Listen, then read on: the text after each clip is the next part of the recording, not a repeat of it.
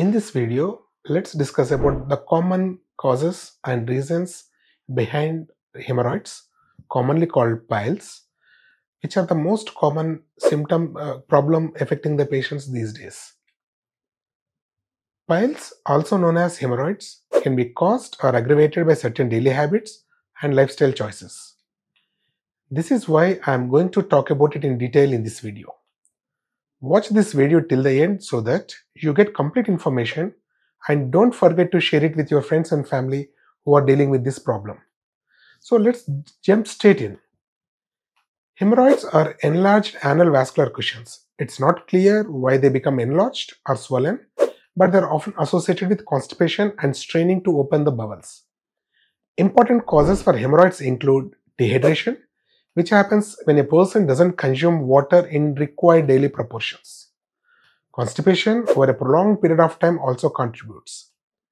Spending excessive time on the toilet seat, which is very important in this age of social media, where people are sitting on the commode for prolonged period looking at their Twitter or Facebook and they're straining and straining which is resulting in hemorrhoids.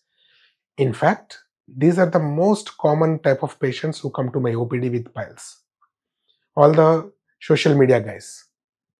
They are also more common with pregnancy, obesity, increased age, and increased intra-abdominal pressure, uh, and all the conditions which contribute to increased intra-abdominal pressure like weightlifting or chronic coughing.